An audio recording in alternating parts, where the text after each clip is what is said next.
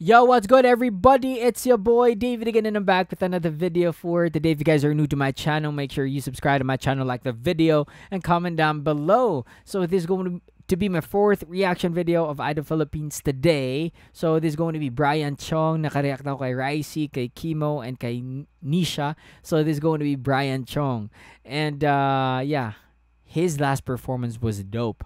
So I'm excited to listen to him and watch him perform in top 12 live shows. So, yeah, make sure naka-follow kayo sa aking Instagram, Real David underscore 29, and sa aking Facebook page, David Lanyas. So, with no further ado, let's go to the video kasi alam naman natin na si Brian Chong is a very, uh, you know, athletic vocally.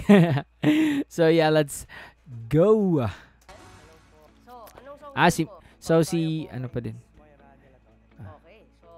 Bakit ito? Ah, naranasan ko na rin po syempre magpaubaya. Meron po sa pag-ibig. Hindi po kasi kami nagkakatugma. Hindi Ah. nagkakasundo. Lagi pong away, tampuhan. Para napagdesisyonan na po namin na magpaubaya na lang po. Na parang siguro hindi po talaga kami para sa isa't isa. Mm, ganyan dapat, no? Huwag nang pilitin. Saan nagsimulang magbago ang lahat? There are songs na, yes, you know, do your stylistics and everything, but there are songs that will fly just by itself. And it's one of those songs. Minsan kasi, pag masyado mo kinumplikaduhan yung pagkanta mo sa isang kantang simple lang, nawawala yung kwento ng kanta. As singers, it is our duty, it is our job na mabigyan natin ng best interpretation yung kwento ng kanta. Kung maibubuga po pala ako kahit simple lang po yung pagkakanta ko basta with feelings. Yes. Ang ipapakita ko po ngayon yung Yes, kasi si Brian Chung is very, you know, vocally, he's very skilled, no? Kaya, medyo, ah, kaya minsan, if you make it very complicated when you sing a song that is meant to be sang or performed in a very simple way, no, na talagang, it's just that the song, ganun lang talaga siya dapat kantahin. So, sometimes, you'll mess it up. So, I'm excited kung paano niya to kantahin at i-perform. connection. Lahat po ng makakarinig sa akin, maramdaman ko ano yung dapat maramdaman dun sa kanta. Ala, bagay yung book niya sa kanya.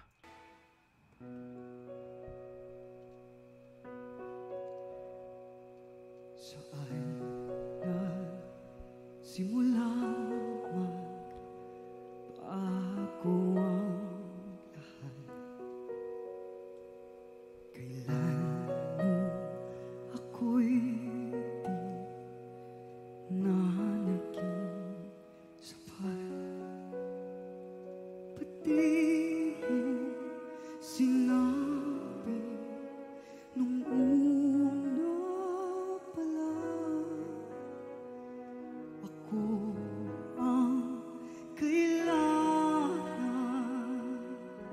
I love that.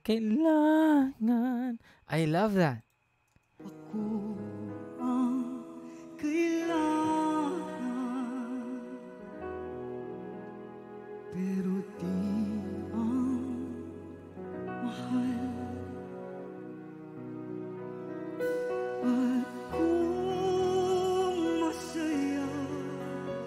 super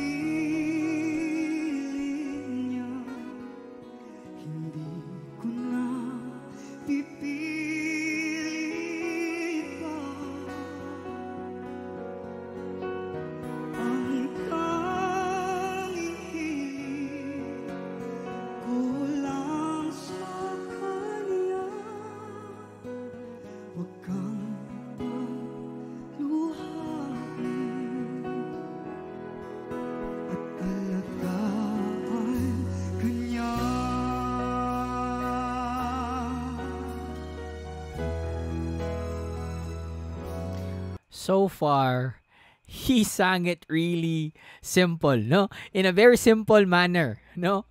And I know at the back of his mind, he's itching, no? To sing it with all the, you know, runs, maybe. Pero, it's just about right. Ang ganda nung stretch ng mga notes, ang ganda nung interpretation niya so far. So, yeah, we'll have to listen to it more.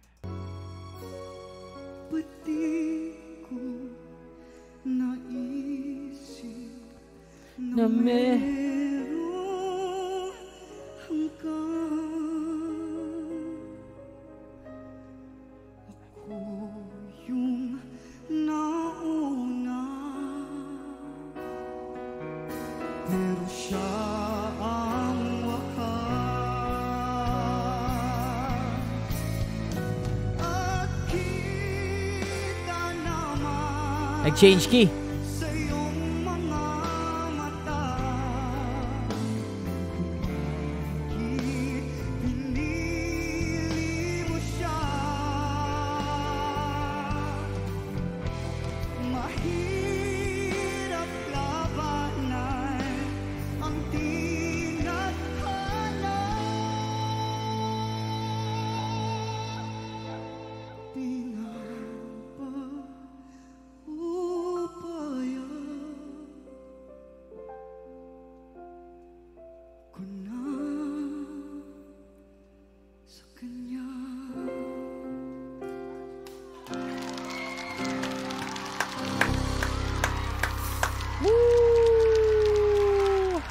Thank you.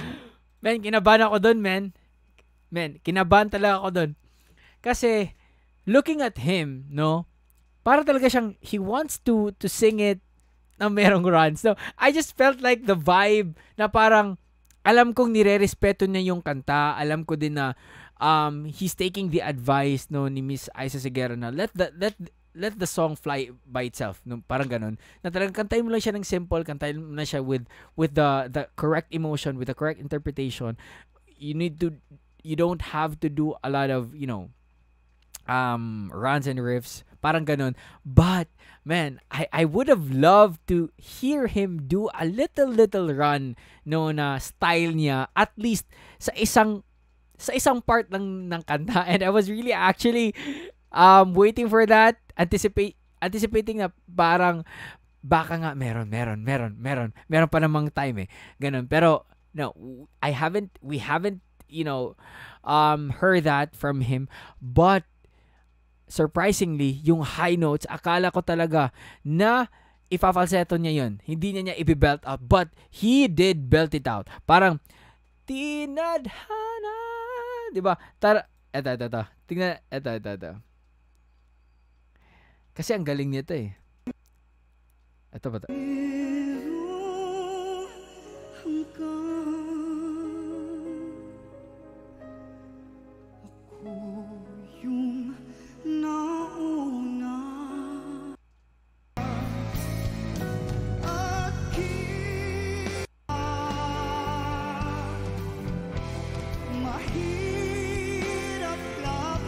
hanggang Ako